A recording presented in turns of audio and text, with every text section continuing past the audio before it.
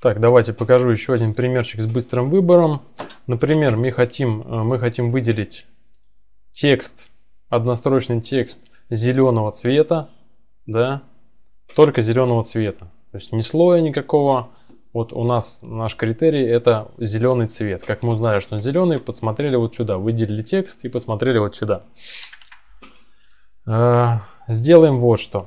Воспользуемся функцией, так, извиняюсь, Пользуемся функцией быстрый выбор. Еще раз нажимаем это окошечко, сейчас знакомое нам появится.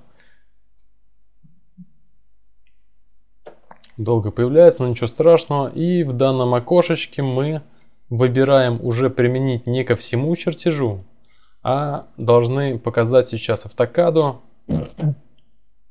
сектор. Для чего сектор? Да потому что, если я вам забыл сказать, мы хотим выделить зеленый текст, который находится только вот в этом участке. Вот условный участок, который я нарисую.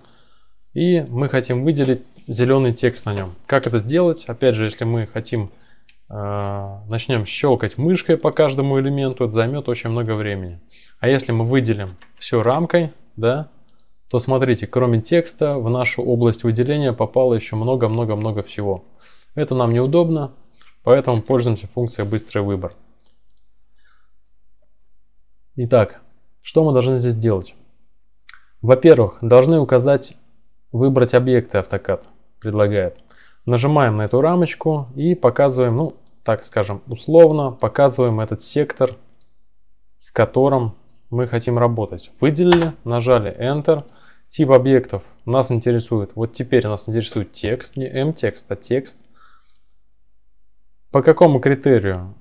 По цвету оператор равно значение зеленый, потому что мы с вами определились, да, что текст, вот здесь вот э, посмотрели, что текст именно зеленый. Нажимаем ОК. И, как мы видим, ничего кроме зеленого текста автокад не выбрал. И это очень замечательно. Почему? Потому что это и было нашей целью обратить внимание, что у нас выбрался только текст. И теперь мы с этим текстом можем делать все, что нам угодно. Высоту поменять с полтора на 2, например. Да. Выравнивание поставить любое другое. Поворот, коэффициент сжатия и растяжения поставить. Ну, давайте для прикола поставим его 0,1.